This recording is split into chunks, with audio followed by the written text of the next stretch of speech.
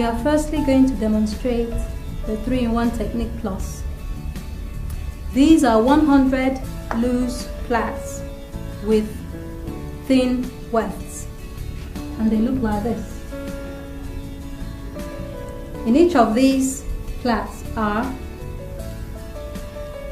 two plaited pieces of hair and I'll show you knotted in a loose weft. That's the way it looks.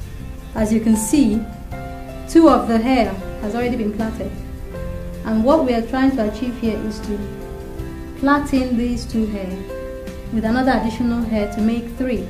So you can actually make three or more plaits. The way we're going to, in, in fact, the way we're going to demonstrate this three-in-one technique is to use a dummy model to show how this can be achieved. And here, as you can already see, we, we've plaited the outline section of the front of the dummy's hairline. You plait them individually with some loose wefts of hair. And you stop there, get one out. And you plait them to the right to the edge of the side of the hair as you see and once that's done we go to the next stage which is now the three-in-one. So as you use a piece of hair you get a piece of hair from the edge and section it out first and then you get a piece of the three-in-one and get another piece of the three-in-one and you knot them together so that they don't move and they're easily used. And then you use it to plait inside the dummy head. So you plait it in. And what we've achieved here is five plaits you finish that out as you go along. So you continue your way until you get to the end of the plaits. And then you get another piece of hair. If you want to achieve more than five plaits, you get more than two of the weave um, three in one. You get another one. And then you get another one. And as you can see, you're adding more hair in. And you can achieve more plaits in one. Like I've got six plaited pieces of hair and I'm going to make another extra plait to make it seven. So however how much however much you want to put in you can add hair as you go along. So you add this one in again. And you continue until you get to the edge.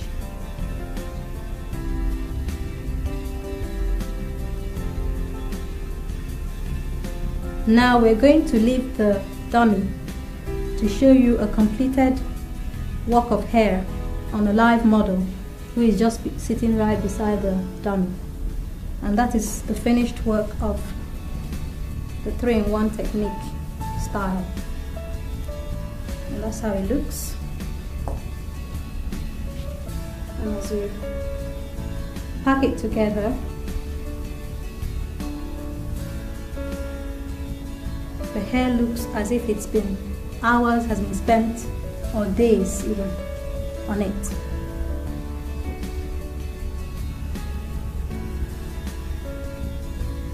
And that's the way it looks when it's finished. You straighten it out. Straighten it out together. I'm going to bunch it with an elastic band and let you see the back before we show you our wrap styles.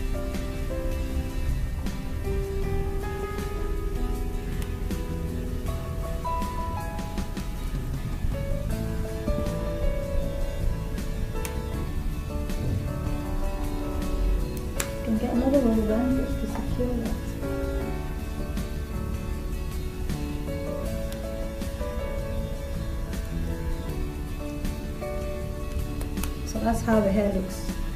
And this should take not more than an average of 5 hours or less if you are you have another person working with you and that's how it looks from the back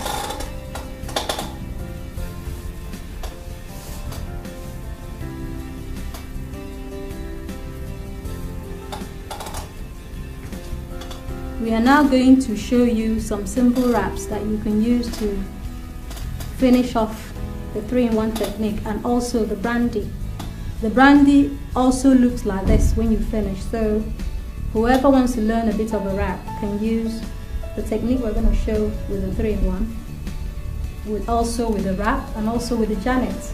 I'm just going to show you two basic wraps and I start with um, letting the hair fall over her face and her sides and picking a middle section of the inside of the hair. Like this, picking the middle section. Right. and then we're going to do a jumbo plaiting of this middle section. Get it out of the way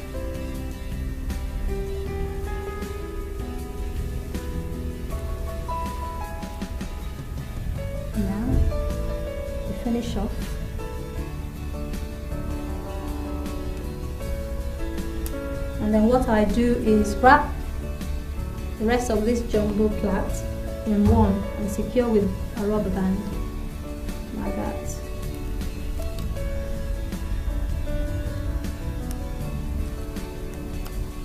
Right, that's the way it looks. Come back again. And now what we're going to do is to wrap the edges of the plaits. And we're going to start on my right side or on your left side as you're looking.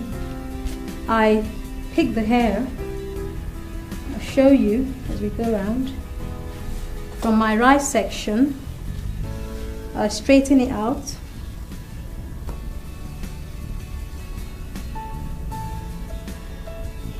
Straighten it out, straighten it out, and then wrap it securely onto the middle bun that we have shaped with the jumbo braid we did earlier. Wrap it round, and as you're wrapping, you make sure you pull in to get that tight effect.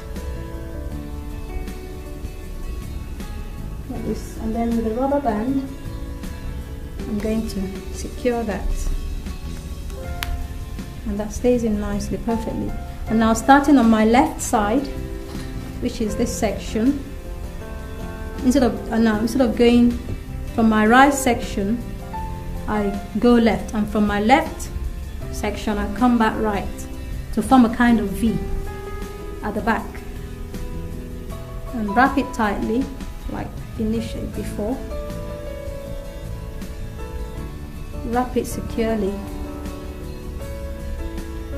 And then tuck the ends of the hair into this bun. Tuck it and wrap it as you go along with your fingers. And hold it together. And get a little piece of elastic band.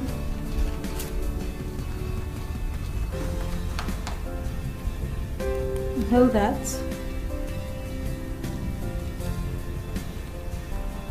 And that holds it in. And then coming to the front section.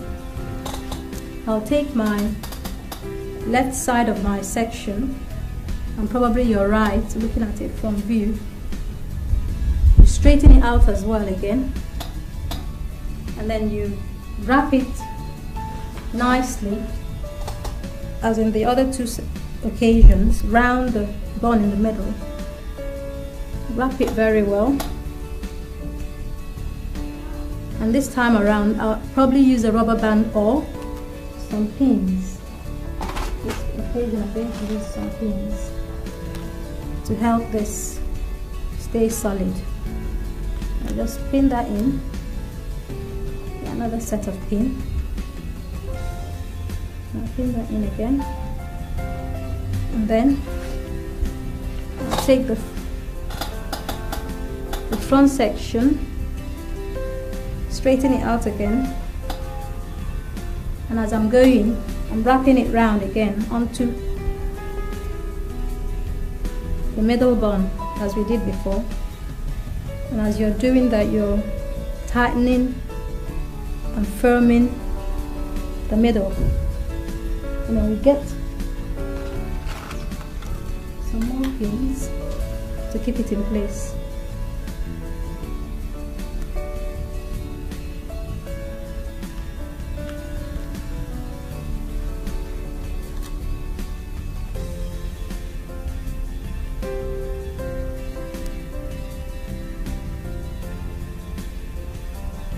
and then the last and final piece of hair will finish up do the finishing touch. And this side has to be really neat with the loose ends. All nicely tucked away. And as you're doing it you're you're finishing off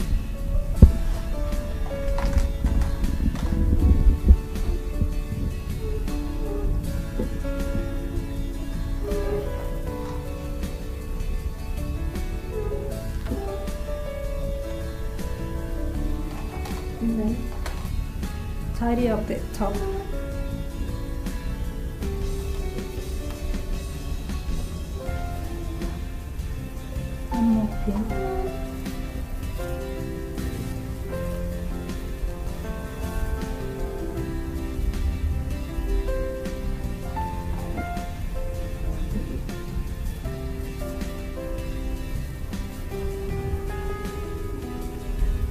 and then that's what we call the a French wrap. You can see from view. It's neat and very lovely. And looking at the sides, as I can, you see how the hair finishes.